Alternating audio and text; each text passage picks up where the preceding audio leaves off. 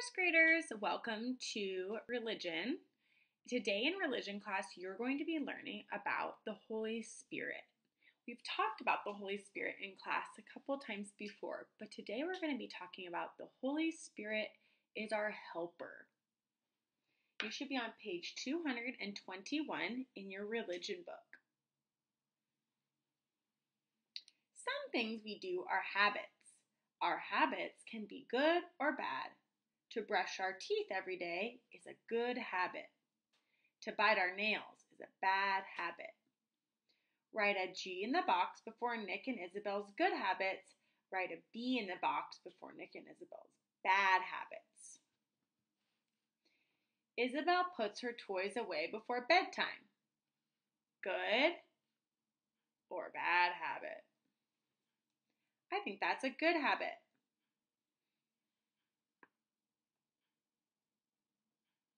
I'm going to write a G. Nick says thank you when he gets a gift. I think that's also a good habit. Isabel slams the door every morning. What do you guys think? Good habit or bad habit? I agree. That's a bad habit. Nick always leaves his jacket on the floor. Bad habit. Isabel prays to God each day. Good or bad habit?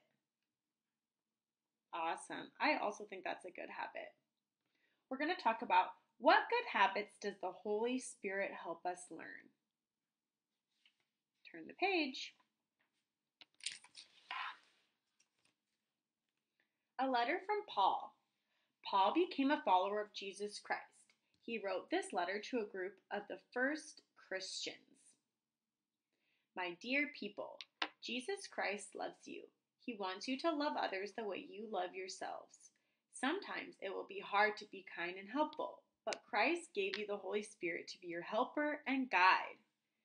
If you follow the Spirit, the fruits of the Holy Spirit will be yours.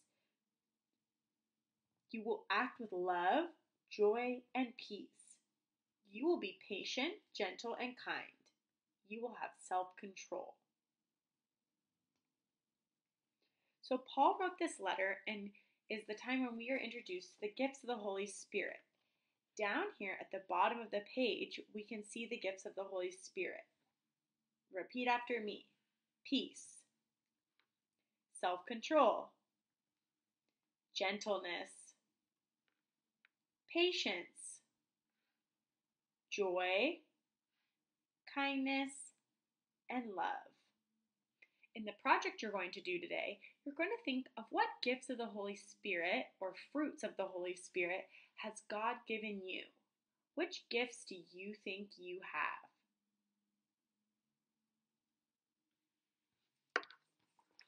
The Holy Spirit helps us. Paul's letter is about loving others. Jesus knew that it would not always be easy to love. That is why Jesus gave us the Holy Spirit. When we love others, the Holy Spirit helps us to be joyful, peaceful, patient, gentle, and kind. He helps us to use self control.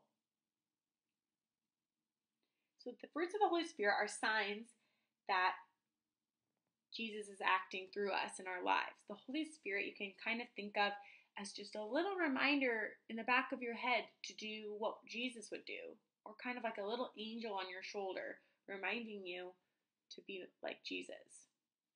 Which fruit of the Holy Spirit would, would help each child? Circle the names of these fruits on Paul's scroll.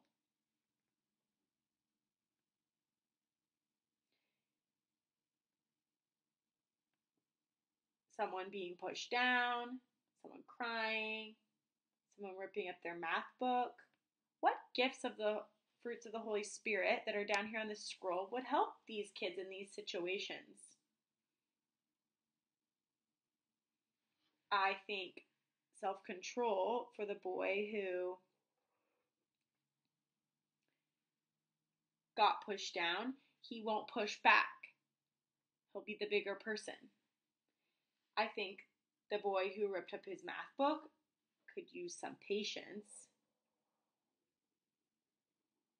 And it looks like this girl had her feelings hurt, so maybe they needed the gift of kindness.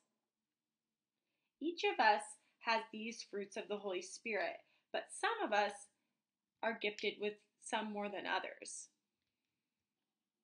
In what ways does the Holy Spirit help us? Let's find out.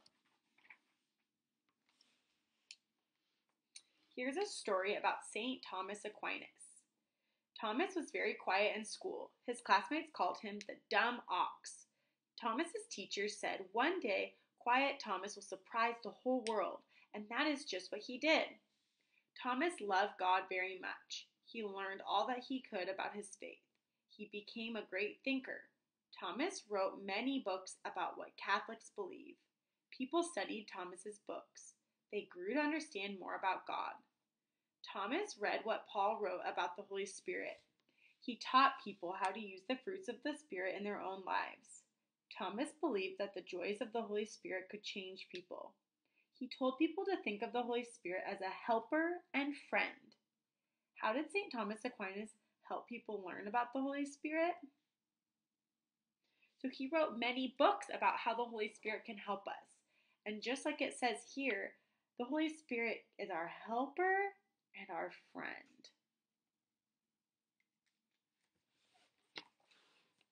When we practice good habits, we share the fruits of the Holy Spirit with others.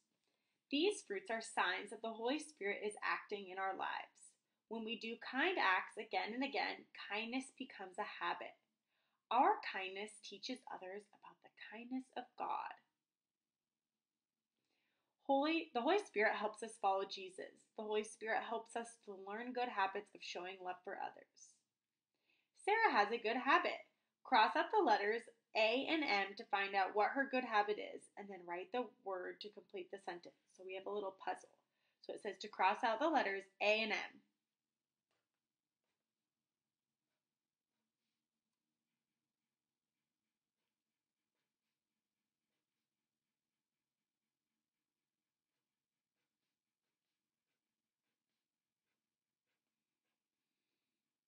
Sarah is, we have, what letters we have left? We have A, G, N, oh, sorry, we have to cross out that A. Sarah is G, E, N, T, L, E.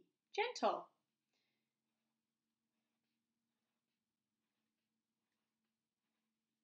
In what ways can we use the fruits of the Holy Spirit?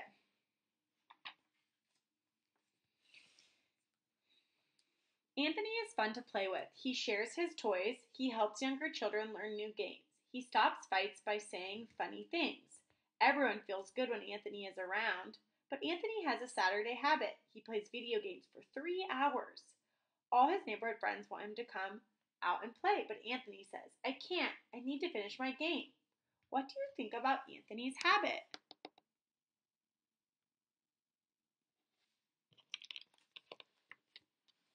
Nice job following along. Here are those fruits of the Holy Spirit that were on Paul's scroll patience, kindness, self control, joy, peace, love, gentleness. Pick a fruit of the Holy Spirit and circle it. Draw how you will use this fruit with someone at home. Pick another fruit of the Holy Spirit and draw a box around it. Write about how you will use this fruit in school. I would like you to, to complete this page. And when, when you're done with this page, you can start our Fruits of the Holy Spirit project. I see many of these fruit gifts of the Holy Spirit in all of you. And I love that you get to share them with those around you and me.